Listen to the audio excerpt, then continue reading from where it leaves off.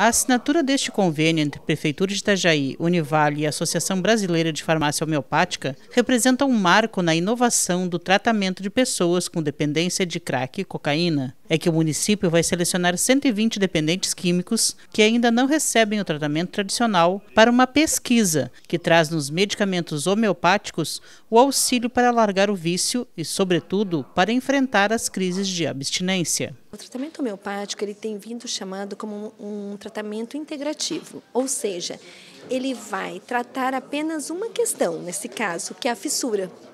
Então, muitas vezes, essa pessoa que vem para o tratamento é aquela pessoa que o quê? Eu quero parar, eu quero reduzir, eu não consigo. Então, a proposta de agregar um tratamento para que ele não tenha aquele desejo incondicional de usar.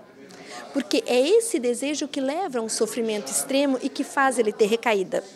Então, a homeopatia ela vai integrar a demais tratamentos que ele já faz, convencionais. É importante esse convênio que há com a a, com a Univale, com, com, o Instituto Farmacêutico, entende, para elaborar mais essa alternativa.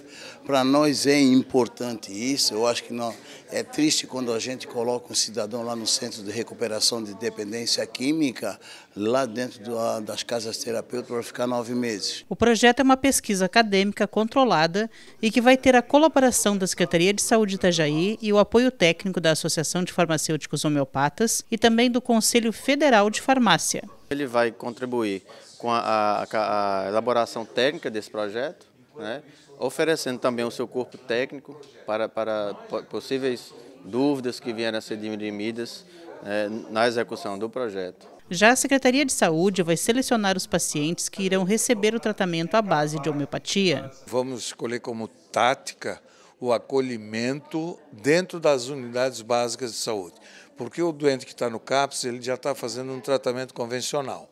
Nós queremos fazer com aquele que não tem tratamento, né, para a gente ver realmente o efeito, se faz efeito ou não. Nós temos pretensão de fazermos 120, 120 pacientes, desses eles teriam que consultar pelo menos duas vezes por semana.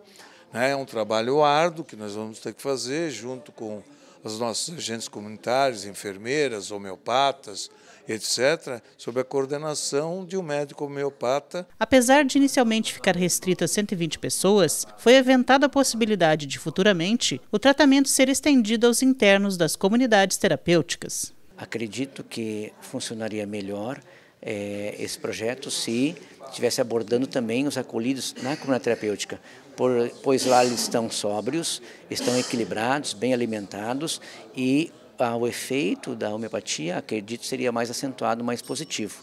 Por isso, espero que esse, esse projeto seja estendido também às comunidades terapêuticas. Já o prefeito de Itajaí tem certeza do sucesso da pesquisa e quer ver Itajaí ser reconhecida como pioneira nesse tipo de tratamento.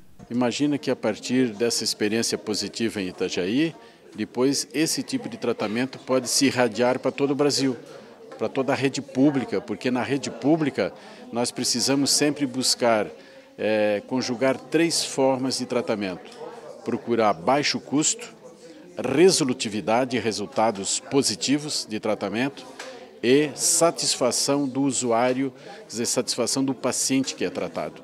E a homeopatia consegue reunir baixo custo, alta resolutividade e satisfação do usuário.